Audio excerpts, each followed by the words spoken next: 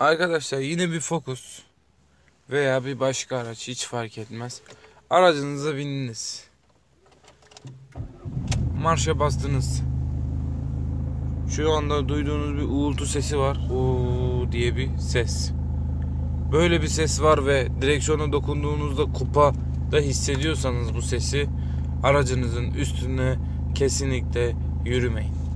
Aracınızın üstüne kesinlikle yürümeyin. Çünkü bu sesi şaşıracaksınız birazdan neden olduğunu. Sesi aşina olun diye biraz sesi dinleteyim size. Hatta Oho. Yani bildiğin kupada gaz verdiğimi kupada hissediyorum. Böyle bir ses duyduğunuzda ne gelmiş olabilir başınıza şimdi onu göstereceğim arkadaşlar.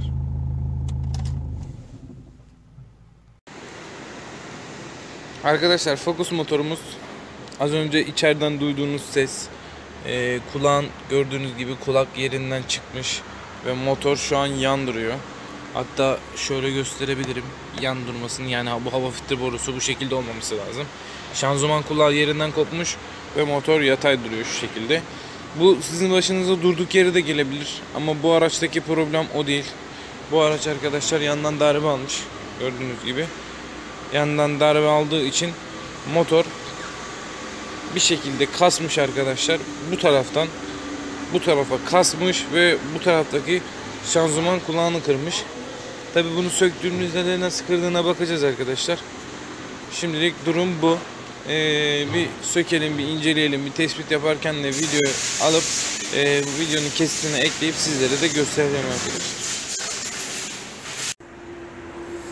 Arkadaşlar tespit için hava filtresini yerinden söktüm ve durum şu. Bu motor kulağı gördüğünüz gibi kırılmış. Kırıldığı için motor şu an yan yatmış. Hatta e, alt beşiğin üzerinde diyebilirim. Birazdan kaldıracağım hmm, lifte. Altı sökeceğim. Ama tabii söktüğümde motorun düşme gibi bir ihtimal de olabilir.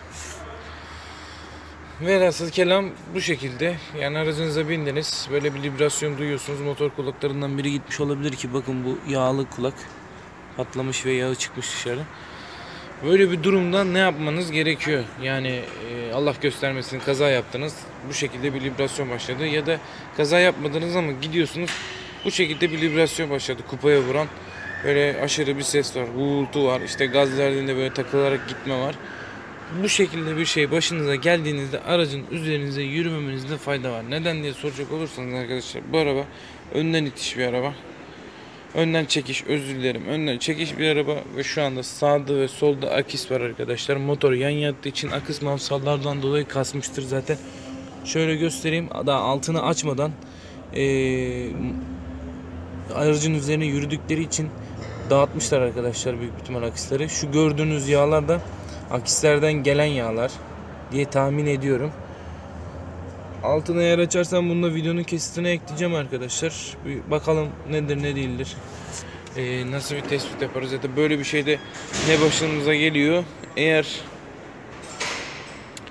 altını sökersem ya da başka bir şey için tespit yaparsam başka bir şeyi tespit yaparsam bunu da videoda sizlerle birlikte paylaşacağım arkadaşlar. Şu an aracın altındayız. Tamponu sıfır ve şanzımanın ne kadar aşağıya indiğini görüyorsunuz motor kulağı koptuğu için. Hatta motorun yan durduğunu bile yani şöyle göstereyim size.